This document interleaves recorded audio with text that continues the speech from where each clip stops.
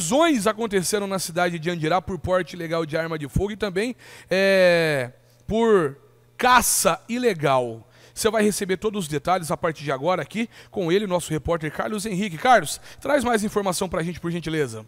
E a nossa equipe do NPTV Notícias traz ocorrência policial a partir de agora para você acompanhando as principais informações aqui na telinha do NPTV Notícias. Olha só uma situação de caça ilegal, também armas de fogos foram apreendidas. Dois suspeitos foram apreendidos pela Polícia Militar de Andirá, próximo à Ponte Nova. Você confere as principais informações desta ocorrência a partir de agora. Depois de a Polícia Militar receber a informação que indivíduos estariam realizando caça irregular, equipes da Polícia Militar deslocaram até o bairro Ponte Nova, sendo abordado um indivíduo com o qual foi apreendida uma pistola calibre 9mm, além de munições em seguida, mais três indivíduos foram abordados, sendo ainda apreendida uma espingarda calibre 7mm e também munições. No local também foram resgatados quatro cachorros sem raça definida, popularmente conhecidos por vira-latas, que acompanhavam os autores da caça. Averigou-se ainda também que os abordados